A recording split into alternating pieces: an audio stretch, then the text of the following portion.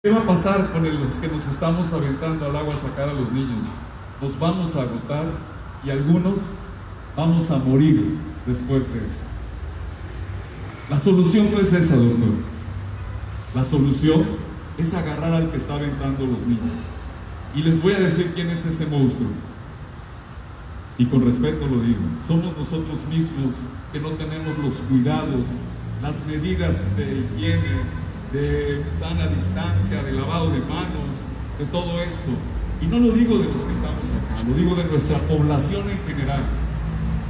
Y de que todos, autoridades locales, estatales, federales, maestros, la prensa misma, todos los que tenemos oportunidad de hacer algo lo hagamos. Porque los resultados los estamos viendo hoy y los hemos visto continuamente. Y es doloroso. ¿Qué pasaría si un día nos quedáramos a la gente tiene el hospital? ¿Qué pasaría si un día no hubiera quien aplicara medicamentos, no hubiera quien hiciera el aseo, no hubiera quien informara? Y no se los pregunto a ustedes, se los pregunto a la gente en general. ¿Qué va a pasar ese día? que puede llegar. Sería un caos total. Pero mírenos, aquí estamos todos, defendiendo, y diría el doctor Raúl, tratando de salvar niños para que no se ahoguen. Cada quien tenemos una función. Y hoy por hoy nos obliga a la muerte de un querido amigo reaccionar. Y reaccionar para bien. Lo dijo él aquí en la sala hace ya un tiempo. No hay culpable. No podemos culpar a nadie de esto. No podemos personalizar. Debemos de ponernos las pilas todos. Los mismos culpables de la enfermedad somos nosotros, porque a veces no nos cuidamos. Y no digo de nosotros en particular, hablo de la población.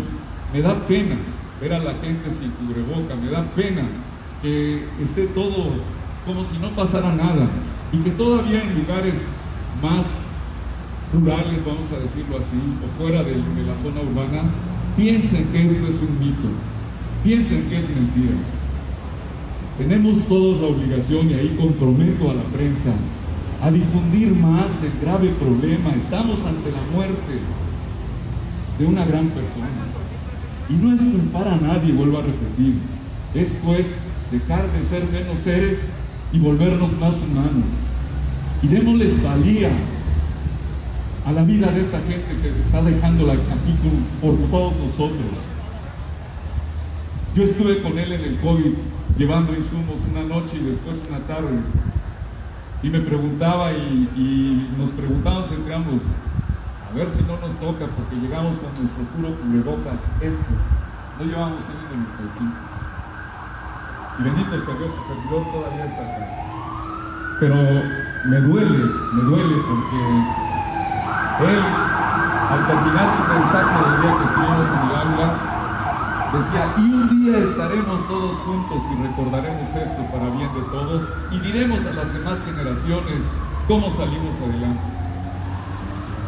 Hoy Él no se ha ido. Hoy Él queda en cada uno de nosotros y hagamos realidad sus palabras. La gente muere cuando uno se olvida de ella. La gente muere cuando nosotros no escuchamos lo que dijeron con el corazón. Hoy por hoy la guerra es sin cuartel, sí contra un virus en este momento, pero a veces debe ser contra nosotros mismos un cambio de actitud. A veces no sabemos ni con quién trabajamos. Y decía hace un rato el doctor Fortino, vamos a esperar que venga la familia del doctor. Y ciertamente llega su familia de sangre, sus hijos. Pero nosotros somos su verdadera familia. Y no lo digo yo. Incluso la Biblia lo dice. Cuando le preguntan a Jesús en un pasaje de esta, él dice, están afuera tus hermanos y tu madre, tu familia. Y dice, mi familia es esta, con los que hablaba.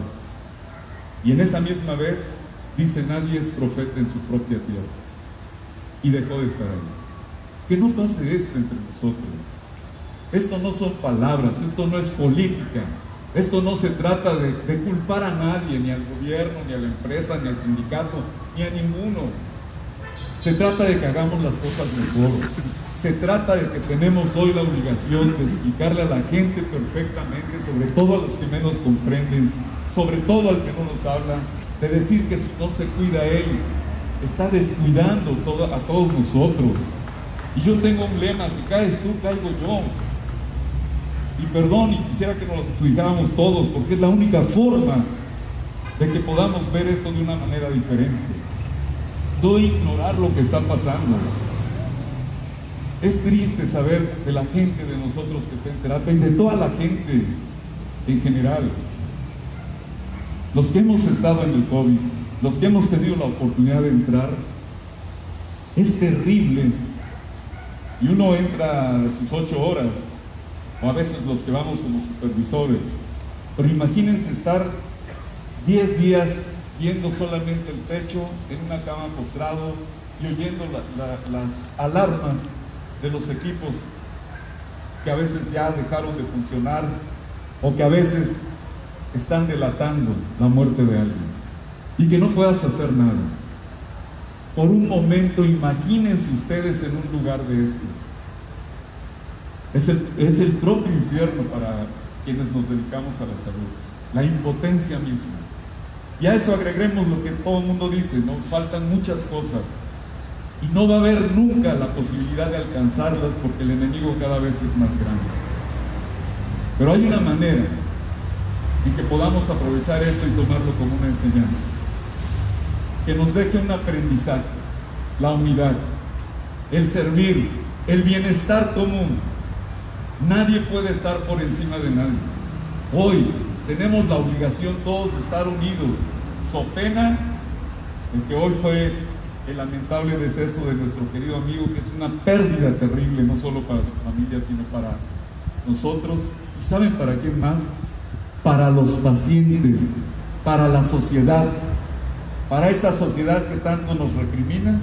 Hoy ellos tienen una gran pérdida, más que la familia, más que nosotros. Porque hoy, señores, es un elemento menos en salud que pierde el país, que pierde nuestra patria, que pierde nuestra institución y un miembro honorable de esta gran organización que es su sindicato. Cuando por un mensaje me dice el doctor Fortino hace dos días, ven, dije, yo voy a estar ahí. No podemos dejar de lado el tener la oportunidad de prestar la voz a este hombre. A este hombre que ustedes lo vieron en el periódico, todo lo que, lo que era, que realmente yo desconocía muchas cosas de lo que hizo. ¿Por qué? Porque además tenía la mesura de no andar diciendo lo que hacía, solamente lo hacía. Y solamente él daba valor con sus hechos a lo que realmente dijo el periódico en un solo día.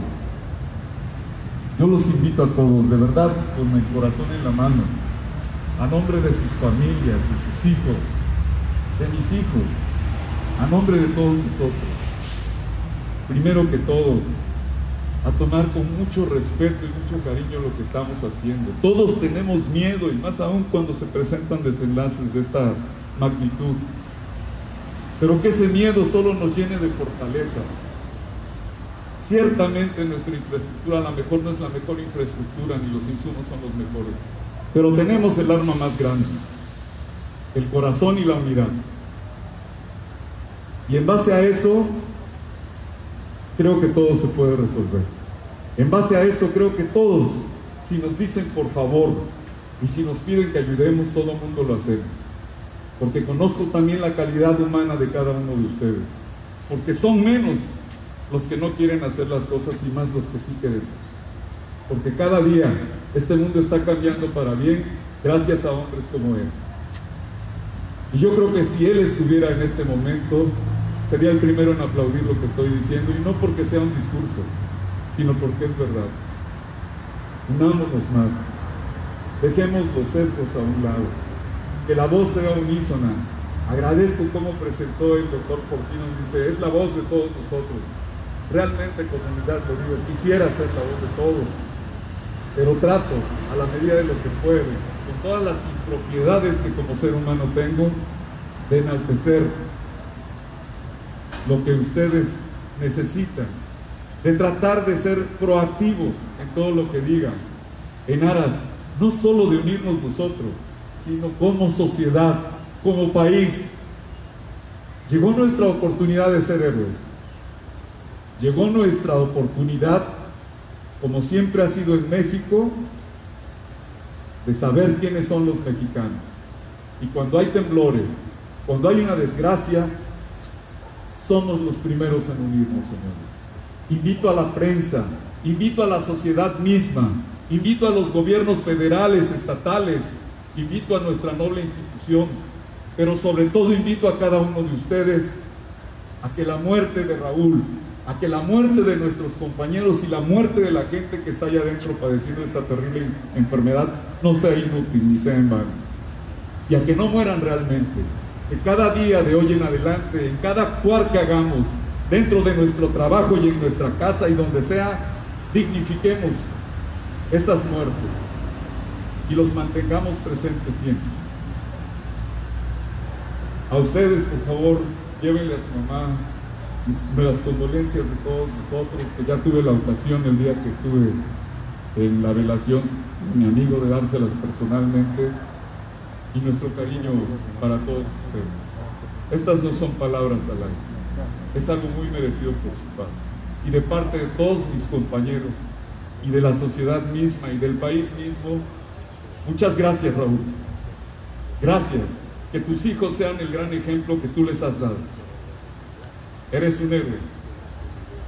Y trataré de que tus palabras se cumplan, de que nos unamos todos, de que todos el día de mañana, cuando esto haya pasado, te volvamos a invitar a que vengas ahora ya en tu carácter espiritual, con tu recuerdo dentro de nosotros, a festejar esto ya pasado.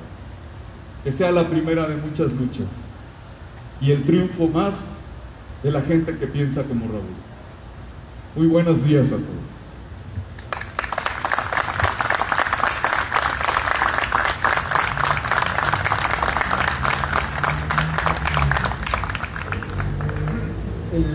agradecimiento eh, en esta ocasión de todos nosotros los trabajadores, eh, el padre de ustedes, es, un documento que, ha elaborado de parte de los trabajadores como un reconocimiento que va a ser dado por este representante para, para ustedes. Me permito leer lo que dice. El Instituto Mexicano del Seguro Social del Sindicato Nacional de Trabajadores del Seguro Social otorga el presente reconocimiento en memoria del doctor Raúl Vera Aguilar por sus 27 años de servicio e invaluable labor en pro de la institución y de los derechohabientes, por su calidez, su espíritu y su amor a la profesión. Gracias.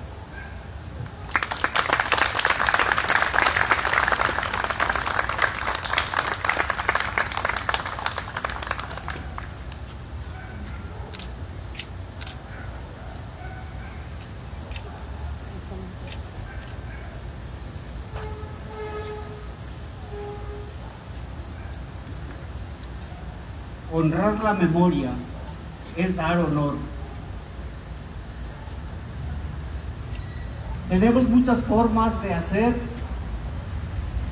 que la vida de nuestro compañero Vera, del amigo Raúl, viva, viva para siempre. En esa experiencia de trascender socialmente como médico, pero sobre todo en cada uno de nosotros como compañeros. Un compañero de nosotros quiere hacer una remembranza de esas vivencias que van a vivir dentro de cada uno de nosotros. Invitamos al doctor Francisco Vallejo Cortés para que nos dé unas experiencias. Muchas gracias, doctor. Buenos días a todos. Soy el doctor Francisco Vallejo Cortés, conocido por algunos, médico especialista en urgencias, hermano de especialidad del doctor Raúl Vera Aguilar, y bueno, quien tuvo la oportunidad de convivir, de coparticipar en la atención que nosotros realizamos en nuestro servicio de urgencias. Hay muchas anécdotas, hay muchas cosas bonitas que recordar siempre. Quiero decirles a ustedes, como familiares directos del doctor, que lo que dijo el doctor Perzabal, el doctor Fortino, y decimos todos, el doctor Raúl Vera siempre va a permanecer en la memoria de todos nosotros.